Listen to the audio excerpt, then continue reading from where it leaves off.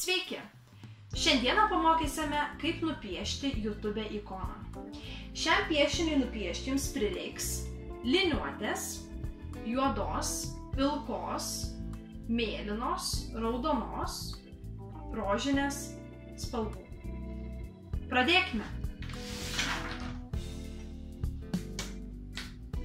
Liniuotės pagalba nusipiešiame keturkampį apvalainais kampais.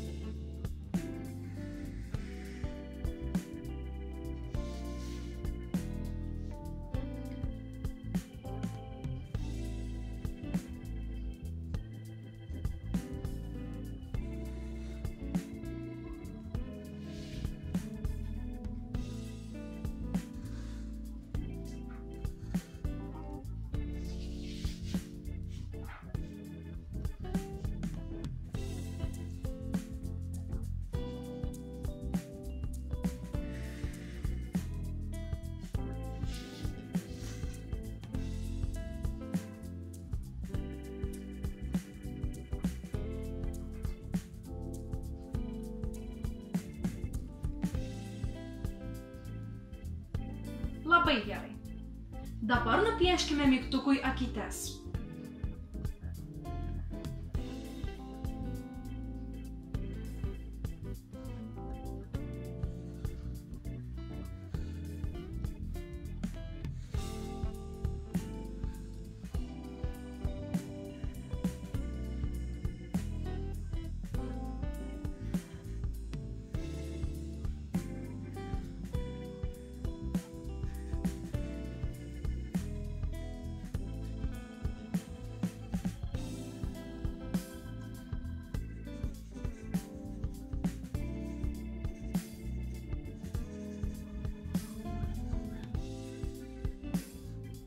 Nupieškime šypsenėlę.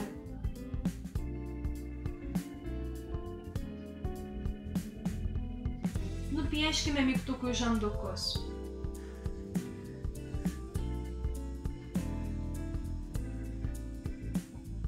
Virš akyčių viduryje nupieškime gulščią trikampį.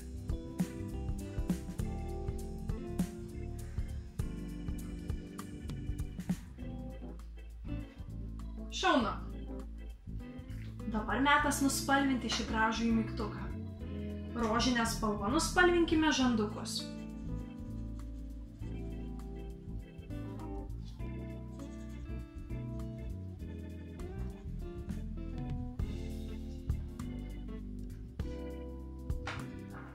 Mėlyną spalvą nuspalvinkime akyčių apačią.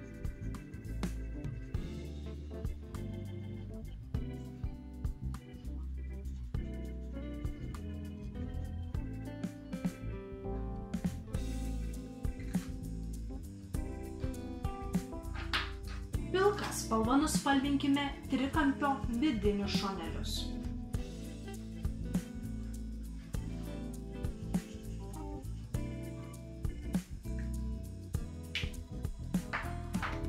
Visą mygtuko foną nuspalviname raudonai.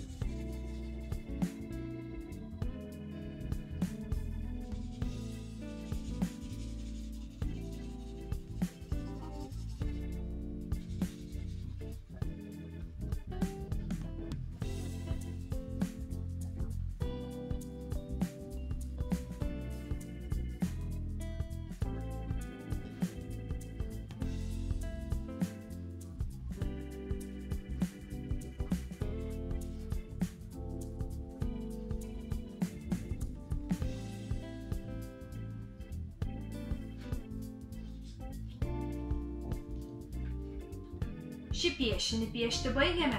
Iki susitikimo.